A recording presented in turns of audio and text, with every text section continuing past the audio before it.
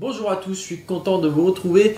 Comme promis et comme vous me l'avez demandé dans les commentaires de la précédente vidéo, on va procéder au démontage de cette arme. Donc évidemment, cette vidéo intéressera plus les gens qui sont propriétaires de cette arme ou d'une arme similaire, ou tout simplement ceux qui sont intéressés par euh, la mécanique de, cette arme. Alors pourquoi je fais ce genre de vidéo et pourquoi moi-même personnellement j'adore euh, pratiquer euh, le démontage complet de mes armes Je trouve que c'est la base et c'est très important pour améliorer la sécurité de son arme puisque Démonter son arme entièrement permet de la connaître, connaître son fonctionnement, voir également les problèmes qu'elle peut avoir et les corriger. Donc ça permet globalement d'améliorer la sécurité de son arme, le bon fonctionnement, et évidemment de bien l'entretenir, et puis par curiosité savoir comment ça fonctionne. Et voilà, le jour où vous avez un problème avec votre arme, vous serez en capacité de le régler par vous-même en sachant vous-même démonter ou euh, nettoyer ou entretenir la pièce en question. Et une fois qu'on aura attaqué le démontage de l'arme, vous comprendrez plus précisément pourquoi je vous explique ça Puisque c'est de mon expérience personnelle que j'ai appris à quel point ça peut avoir de la valeur de tomber sur ce genre de documents euh, présentant nos armes favorites. Évidemment, comme d'habitude, il s'agit d'une arme à feu, on va donc procéder aux vérifications de sécurité. Donc je prends mon arme, alors je la mets de mon côté, je suis gaucher, ouverture de la culasse, on regarde si la chambre est bien vide, ce qui va nous permettre de pouvoir déverrouiller le tube magasin, tac, Vérifier que le tube magasin est bien vide. On peut le refermer. Et puis refermer la culasse en regardant qu'il n'y aurait bien rien dans la chambre. Et percussion.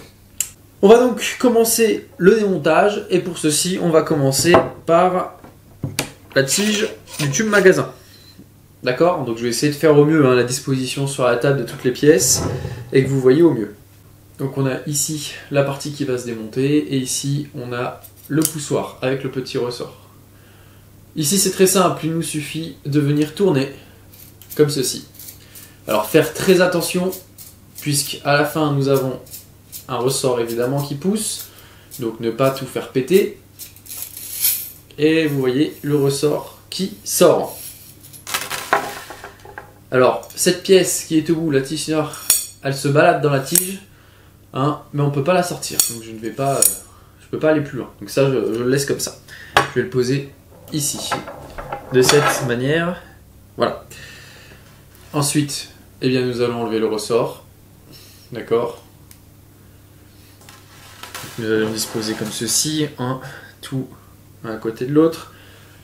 Ici, on se retrouve avec un joint pour l'étanchéité et une petite vis qui est simplement euh, vissée dans la pièce qui sert juste de buter quand on vient remettre le tube magasin dans l'arme. Donc ici c'est un monobloc, une seule pièce de métal usiné, donc il n'y a rien à démonter dessus en plus, hein. je ne vais pas enlever le joint et, la vis, ça sert à rien. Voilà, évitez de démonter les petites pièces qui ne sont pas essentielles de démonter, sauf si vous voulez les changer ou quoi, puisqu'après c'est meilleur, le meilleur moyen de les perdre.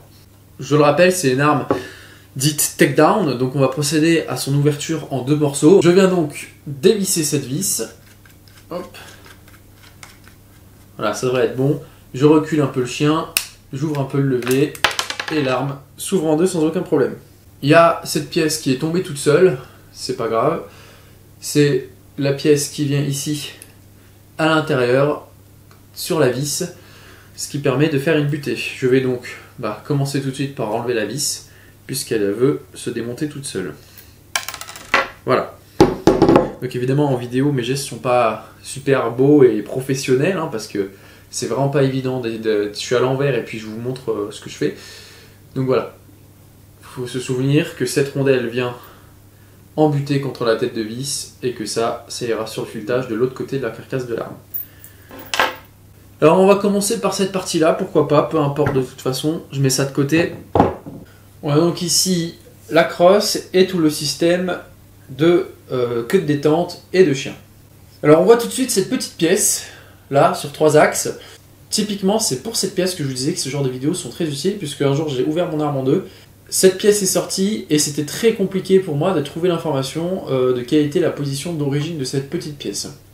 Je fais une petite interlude vite fait pour vous dire, comme vous vous en doutez, ce genre de vidéo demande beaucoup de travail de montage, d'investissement, de tournage. Si jamais ça vous plaît, ça vous sert, et eh bien partagez cette vidéo autour de vous et abonnez-vous à cette chaîne YouTube vraiment pour soutenir euh, ce travail, euh, me, euh, voilà, me, récompenser, me motiver et surtout me dire si ça vous plaît. C'est une manière pour moi de voir que, ce que je fais vous plaît. Et si vous voulez encore plus soutenir cette chaîne YouTube et donc la présentation de matériel, etc., et le temps investi, je vous invite à aller dans la description, faire vos achats d'armurerie classiques sur la boutique en ligne que vous trouverez dans la description. Notamment, par exemple, si vous avez besoin de cartouches de manipulation 22R et autres, eh bien, voilà, j'en vendais comme ceci en aluminium et ça sert, comme vous, pouvez, vous allez le constater ici, à faire votre manipulation d'armes sans la détruire, puisque là, voilà, il y avait une cartouche dedans. De manipulation, évidemment. Nous allons donc la démonter. Pour ceci, je vais prendre un tout petit tournevis plat et je vais venir levier en dessous pour la soulever et la sortir de ces trois axes. Voilà, elle est sortie. Elle est ici. Voilà, je me la pose par là. Bon, moi je connais bien mon arbre, je connais euh, l'emplacement de toutes les pièces, donc je suis pas obligé de détailler forcément les pièces euh, dans l'ordre euh, de l'arme ou voilà par ensemble, mais c'est quand même conseillé. Ensuite, nous allons donc démonter tout le bloc avec le queue de détente, etc. La crosse, il y a la plaque de couche ici qui peut s'enlever avec tout simplement deux vis cruciformes ici qui sont vissées directement dans le bois. Je ne vais pas le démonter puisque je l'ai déjà fait. D'ailleurs, vous pouvez voir que ça a fait pas mal de traces sur la queue, sur, la plaque de couche. Euh, parce que la crosse n'est pas creuse, donc elle n'a aucun intérêt. Euh, ça rien que je vous le démonte parce que vraiment il n'y a, pas de surprise à l'intérieur.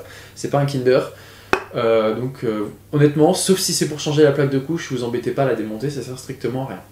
Tout ce gros ensemble, un métallique dans la partie en bois, parce que je rappelle que ça c'est du bois recouvert de synthétique, de caoutchouc, ce ne tient qu'avec cette grosse vis cruciforme qui traverse toute l'arme et qui vient là. Je viens donc prendre un gros tournevis cruciforme, Prenez toujours hein, la tête de tournevis bien adaptée, que ce soit la forme ou la taille, afin d'éviter d'abîmer la vis et de rendre eh ben, euh, cette vis inutilisable et de vous rendre la vie impossible à chaque fois que vous voudriez démonter. Donc on tourne, là, là je vous apprends rien, comment dévisser une vis, voilà. je pense que c'est bon, là je finis à la main, voilà, donc une sacrée vis. Donc on va essayer de faire en sorte que les vis ne roulent pas jusqu'à Pékin, voilà. Et bien maintenant, normalement, tout ce système sort. Donc évidemment, ça tient bien. Et heureusement. Voilà, donc en fait ce que j'ai fait c'est que j'ai bloqué la crosse sous mon épaule et j'ai tiré comme ceci, il faut tirer assez fort. Mais il n'y a pas d'autre astuce, donc vous voyez qu'à l'intérieur, hein, c'est bien du bois. Je sais pas comment je peux vous montrer, voilà, c'est bien du bois. Et il n'y a rien d'autre qui tient. Voilà, c'est tout usiné comme ça à l'intérieur. Donc pour toute cette partie, on a fini déjà. Et là, on se retrouve avec une partie très très intéressante, magnifique, et on voit très bien le fonctionnement de l'arme. Hein. Voilà, comment ça fonctionne. Et d'ailleurs, on voit aussi très bien les deux crans, ici. On en a un là. C'est la sécurité dont je vous parlais dans la précédente vidéo, pour empêcher de percuter quand on désarme le, chien. Et là, percussion de percussion normale. Si j'appuie et que je relâche, je vais revenir jusqu'au premier cran, donc pas embuté contre l'éventuel percuteur. Alors que si je reste appuyé, enfin voilà, comme un coup de feu classique, il va venir à fond. Et on voit bien que je ne suis pas sur le premier écran qui est ici. Voilà. On va commencer par relâcher les tensions des ressorts pendant que tout est bien vissé et maintenu, puisque vous devez le savoir, si vous avez l'habitude de le faire, votre pire cauchemar c'est quand un ressort s'envole, que vous ne savez pas d'où il vient, comment le remettre, et surtout quand vous le perdez dans votre maison. Pour m'entraîner pour cette vidéo, quand j'ai démonté l'arme, j'ai un tout petit ressort que je vous montrerai tout à l'heure dans la, culasse qui a sauté. Je l'ai même pas vu ni entendu, je l'ai cherché dans toute une maison. Euh, il fait 5 mm, euh, si je ne le retrouvais pas. Euh, mon système d'extraction de la cartouche ne fonctionnait plus. Donc autant vous dire que quand je l'ai retrouvé, j'avais gagné au loto. Pour pouvoir sortir ce, cette tige avec ce ressort de son emplacement, il va falloir démonter cette vis en premier. Donc, tournevis à tête plate, grosse tête plate. Et je viens démonter. Voilà, ça part tout seul. Donc tout en dévissant la vis, je vais un peu soulager aussi la pression qui est, mise sur la vis avec le, le, chien. Donc c'est pas évident comme d'habitude en vidéo. Hein. Voilà, je vais finir à la main, ça devrait être bon. D'ailleurs, ce qu'on constate sur cette arme, hein, c'est que toutes les vis à l'intérieur vous voyez, ressortent de l'autre côté de la carcasse et sont apparentes. Hop, la vis est là. Une fois que j'ai enlevé cette vis, vous voyez, ici, quand je relâche le chien, hop, il y a cet axe qui sort. Et d'ailleurs, il y a aussi le ressort derrière qui est sauté tout seul. Donc attention, là, nous avons donc cette tige qui est sortie avec un ressort. Ça ressemble un peu à un système de percuteur, comme on retrouve souvent dans certaines armes. Nous avons cet axe, qui était situé ici, voilà, sous la vis, pour bloquer le chien dans son, dans son élan, pour pas qu'il aille plus loin, trop loin. Et ici, nous avons également cette rondelle qui vient en buter. Voilà. J'enlève la rondelle. Donc c'est un ensemble, hein. bon moi je m'en souviens. Il nous reste plus que le chien et la queue de détente qui sont bah, reliés intimement par un ressort ici. Alors, je vais démonter le chien. Pareil, gros tournevis plat, grosse vis centrale.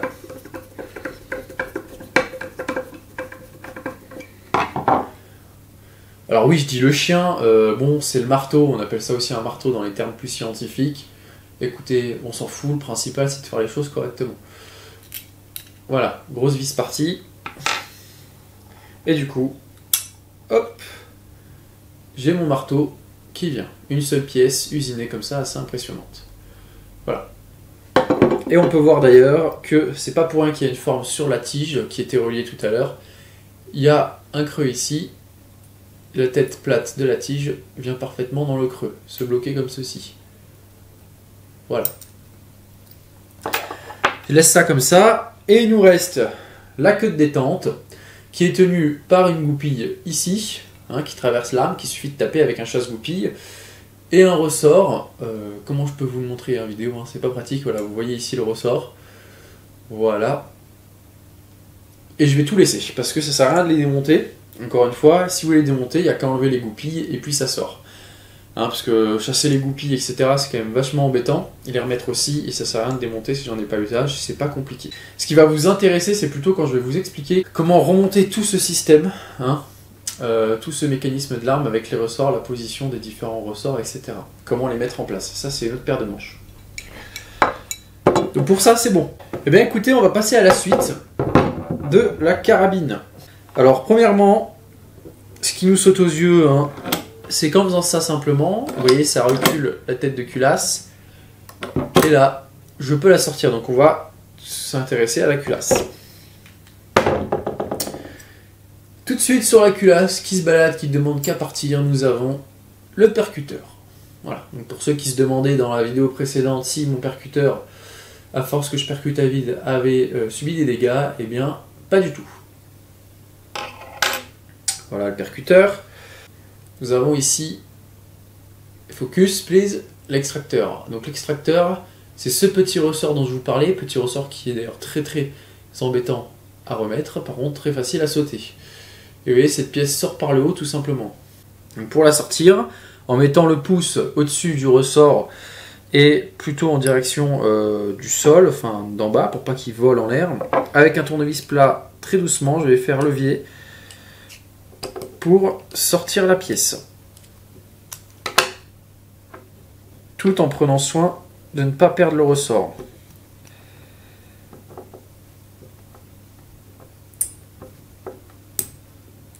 Voilà, j'ai sorti la pièce et ici j'ai le ressort qui est à l'intérieur. Vous voyez comme il est minuscule, c'est votre pire ennemi. À cette occasion, nous avons également, donc là il est déjà en train de se barrer, reste là mon ami, aussi cette, euh, cette goupille hein, qui, sort, qui vient se mettre. Bon, je vais pas la, sortir, c'est pas intéressant. Voilà, bah, elle est sortie toute seule. Qui n'a pas de sens, qui vient se mettre dans ce logement sur.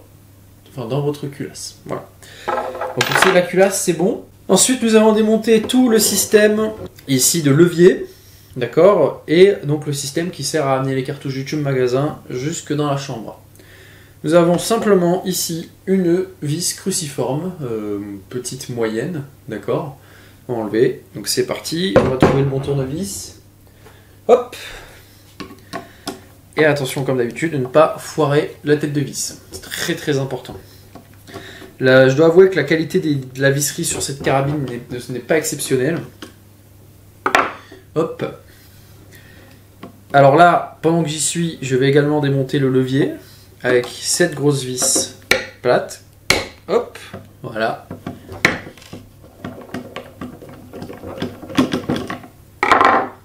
Et là, vous voyez, bon, je finis à la main, il manque rien. Il manque un petit peu. Voilà. Il y a tout qui se barre. Mais vous inquiétez pas, tout va bien. Alors, tout de suite, il y a ça qui s'est barré. Comme d'habitude, un ressort. Les ressorts, c'est votre pire ennemi. Il y a ça qui se barre. Donc c'est juste un ressort enfilé euh, dans une sorte de, pointe en métal. Et en fait, ça vient ici, comme ceci. Donc là, ça traverse forcément puisque c'est pas monté sur l'arme. Donc on va se concentrer là-dessus pour le moment. Donc de l'autre côté, j'ai ça qui est sorti.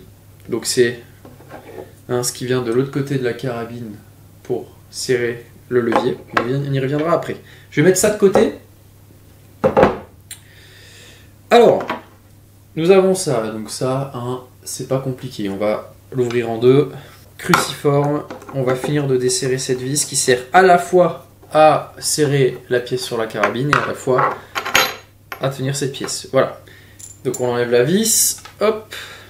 Et vous voyez qu'en fait, à l'intérieur, il n'y a rien d'autre.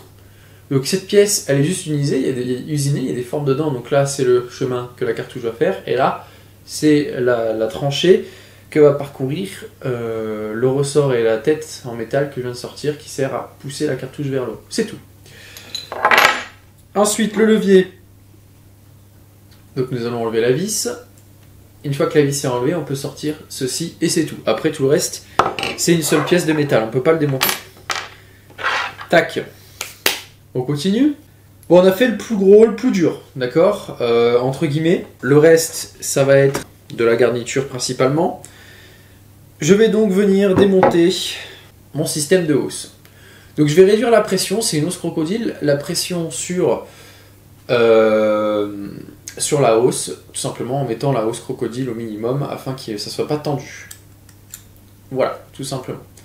Ici j'ai une petite vis euh, à tête plate nous allons dévisser de ce pas.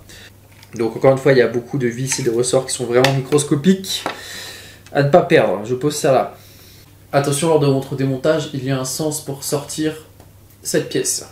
Pour ce faire, le mieux, c'est un chasse-goupille, un marteau euh, en nylon, etc. J'en ai pas. Il faut donc que vous tapiez sur cette zone, comme ça, vers l'extérieur. Donc le mieux, c'est de placer l'arme dans un étau. Moi, j'en ai pas. Euh, et de taper avec quelque chose qui va pas abîmer la, pièce. Hein. On peut utiliser également un bout de bois. Donc ce que je fais par exemple, c'est que je place un tournevis ici. Je vais placer mon petit tournevis ici pour surélever l'arme. Et taper ici sur le bout de bois avec un marteau. Ok? Et là, ça va sortir tout seul. Voilà. Tout simplement. On voit ici très bien l'encoche. Voilà. Et donc notre hausse, je vous rappelle, est seulement composée du système de, bah, de hausse crocodile, cette pièce métallique et la vis plate qui sert à le démonter. Donc petit bout de bois très utile, les systèmes du tournevis sous l'arme pas mal. Hein. Je vous rappelle que c'est le manche du tournevis que j'ai mis, donc ça va pas abîmer le canon. Ensuite, nous allons démonter toute cette partie noire. Tout est enlevable. Donc ça, c'est le tunnel hein, du guidon, on va l'enlever.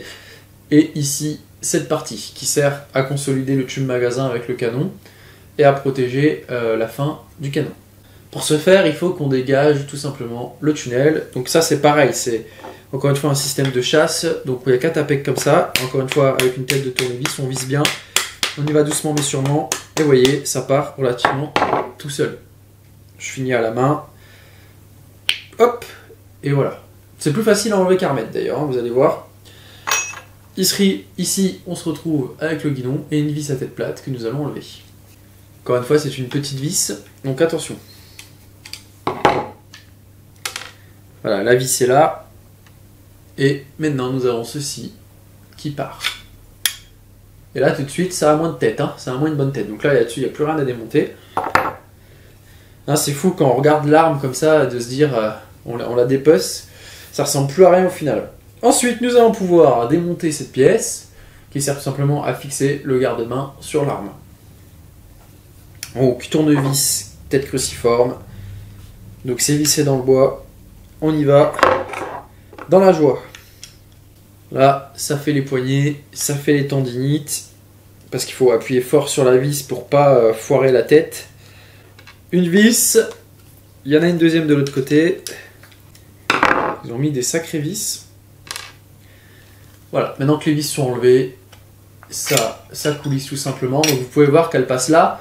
Donc si vous n'enlevez pas la partie noire d'abord, au bout, eh ben, vous n'allez pas pouvoir la remettre. Moi la dernière fois j'ai fait cette erreur, j'ai mis mon garde-main, j'ai mis la pièce noire, et après bah, je me suis rendu compte simplement que je ne pouvais pas passer ça. C'est bête, mais il faut respecter l'ordre. Voilà. Tac. Et notre garde-main qui vient. Tout simplement. Et voilà avec quoi on se retrouve. Donc cette pièce-là, bon, on peut pas tellement l'enlever, on va éviter, ça sert pas à grand chose. Et on peut voir d'ailleurs maintenant qu'il n'y a plus tout ça, qu'il y a un gros jeu avec le tube, magasin et le canon. Voilà. Alors il nous reste, vous voyez ici, une vis qui n'est pas enlevée. Simplement la vis qui vient, je pense, bah, consolider le canon dans la, carcasse. Euh, et en fait, j'ai pas réussi à l'enlever. On peut voir d'ailleurs que la vis est pas mal abîmée. Euh, je sais pas. Soit elle se démonte pas, ce qui pourrait être logique. Hein, ils l'ont soudé ou collé. Hein, évidemment, parce que c'est la vis qui tient le canon. Ou alors j'ai tort et je me trompe, et du coup, bah, si vous avez possédé cette arme et que vous avez réussi à démonter cette vis, eh ben, n'hésitez pas à me le faire savoir, ça m'intéresse. D'ailleurs, maintenant que l'arme est démontée comme ça, ça nous permet vraiment d'avoir un très beau accès donc au trou du tube magasin et ici à la chambre. Notre arme est entièrement démontée, vous pouvez voir qu'une fois démontée, ça ressemble plus à rien à part un grand amas de pièces. Il n'y a pas tant de pièces que ça, et c'est une arme qui est relativement facile dans son fonctionnement euh, et ses pièces. Il n'y a plus qu'à remonter. Donc pour remonter, c'est tout pareil dans l'autre sens, à part pour le système du bloc percuteur, euh, du bloc euh, voilà, du marteau et de la queue de détente, c'est un peu plus complexe avec le système de ressort. Nous allons donc nous atteler à ça. Alors, afin que la vidéo ne soit pas trop longue, je pense qu'en termes de remontage, je vais vous montrer uniquement la partie complexe avec les ressorts. Alors, premièrement, nous allons nous atteler à ceci. Donc on va récupérer toutes nos pièces qui étaient concernées par ce système. Donc nous avions le marteau, vis du marteau, le ressort et la tige derrière le marteau, l'axe qui permet de retenir le marteau, cette vis et celle-ci. Nous avons donc aussi cette rondelle qui est derrière pour la tige et cette vis qui vient fixer le marteau et son axe et cette vis qui vient aussi fixer le marteau. Première étape, ici vous avez ce ressort. Vous allez donc le pousser ici avec un tournevis. Donc un gros tournevis plat, ça sera plus simple. Et mettre la queue de détente en arrière. Et c'est la queue de détente en arrière qui tient le ressort. Vous voyez, il vient de céder parce que j'ai relâché la queue de détente. Je recommence. Je recommence. En vidéo, c'est vraiment pas facile. Voilà, vous pouvez voir que c'est ce simple ressort qui fait que là j'ai un système de ressort sur ma queue de détente. Alors il faut tenir la queue de détente dans cette position, si vous la relâchez le ressort va sauter de nouveau. Et là vous venez installer votre marteau qui va servir justement à bloquer la queue de détente dans cette position. Donc on va le mettre sur le dernier cran afin d'obtenir ce montage. Donc tous les trous sont alignés et là il va falloir remettre une vis avant de pouvoir relâcher la pression sur la queue de détente. Et nous allons remettre la vis principale du marteau au centre, ici. Ok Donc je vais la visser sans vous montrer, sinon c'est trop galère pour moi. Donc il faut aligner le trou. Gros tournevis plat. Je vais changer de main. J'ai besoin de ma main gauche pour visser. Une fois que c'est vissé, vous voyez, j'ai plus besoin de tenir. Donc je serre tout de suite la pièce, hein, assez fort. Voilà. Maintenant, peu importe ce que je fais, le marteau, il n'y a pas son ressort derrière pour le ramener, mais ma queue de détente ne peut plus me faire euh, faux bon. Vous voyez? Le système de ressort derrière la queue de détente ne saute plus. Voilà. Maintenant, nous allons installer notre tige derrière le marteau. C'est pour ça d'ailleurs que je n'ai pas encore, voyez, mis ici la vis avec son axe, puisque ça me permet d'avoir un jeu conséquent sur le marteau. Voilà. Donc pour ce faire, nous allons installer cette rondelle, donc la fine. hein. Ici, il y a une butée, elle tient toute seule. Vous voyez, si je me mets dans cette position, ça tient. C'est assez vicieux quand même, attention. hein. Donc je vais quand même la tenir. Et ici, nous allons mettre la tête plate, comme je vous expliqué tout à l'heure, dans le dos du marteau. Il y a un emplacement pour ça. Donc encore une fois en vidéo, c'est l'enfer. Alors, je vais me mettre dans une position confortable pour moi. Donc j'installe la rondelle. On va se mettre du côté opposé. Là, elle tient toute seule. Je viens insérer l'encoche dans le dos du marteau. J'avance le marteau. Et là, vous voyez, la rondelle est sortie. Donc c'est un jeu de précision, de minutie en mode horlogerie. Alors c'est pas interdit de mettre un bout de colle une colle euh, hein, pas agressive et pas définitive sur la rondelle pour qu'elle tienne toute seule le temps de l'opération. Donc je me mets dans l'encoche du marteau. Donc, vous, voyez, vous voyez ici, j'ai mis l'encoche tête plate dans euh, le marteau et la tige embutée que je pousse avec mon doigt là contre la rondelle qui permet d'éviter la rondelle de tomber. Et là, il faut reculer le marteau afin qu'il passe dans ce trou à travers la rondelle et qu'il se verrouille. Donc il faut jouer, hein, il faut aligner les éléments. Voilà, là je crois que je suis bon et on va le voir très rapidement ici. Focus. Voilà, j'ai réussi à reculer, on peut voir que la tige a traversé la rondelle, est sortie de son ressort compressé et de l'autre côté.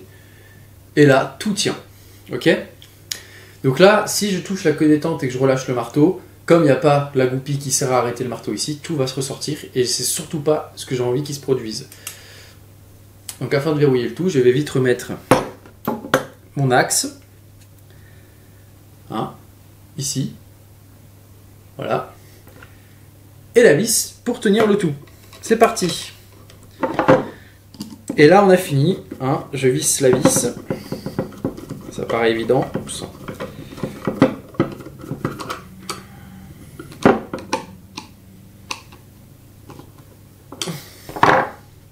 Voilà. Et là, je peux relâcher en dessous de quiétude et tout mon système de queue de détente et de marteau fonctionne parfaitement. Un cran, deux crans, je peux relâcher. Petite pièce ici et qui vient se mettre comme ceci. Donc le L ici en direction, vous allez devoir forcer un peu, c'est normal. Voilà. Petite pièce dans ce sens et on l'enfonce au fond avec le tournevis plat et en appuyant. Et voilà. Tout ça après, il n'y a plus qu'à le renfiler dans la crosse et à mettre la vis transversale et c'est tout fini. Nous allons maintenant passer au système d'approvisionnement de cartouches. Bon, voilà, avant de remonter le système de levier, j'ai remonté hein, la garniture, la hausse et le système de guidon. Donc déjà, c'est plus sympa à voir. hein. Et voilà, comme ça, on repart sur des bonnes bases. Nous allons donc avoir besoin de ça, c'est ce qui vient de l'autre côté de l'arme pour accueillir la vis, le levier, le poussoir de cartouche. Nous avons donc cette vis qui vient à grosse vis embutée du levier, ce petit bouchon avec son ressort intérieur, la, la partie en métal sculptée pour le mouvement des cartouches, la vis qui vient pour bloquer le tout. Euh, et pour l'instant, ce sera tout. Nous allons venir positionner donc ce ressort dans la tête en métal ici, d'accord? Ce que je vais venir faire, je vais poser cette pièce ici au fond, d'accord? Ensuite, je viens mettre ça comme ça, d'accord? Pareil, je vais me caler un petit tournevis pour éviter qu'elle sorte. Ensuite, je vais pouvoir remettre cette pièce comme ceci là-dedans. Et on vient comme ça. On se pose au-dessus. Tac.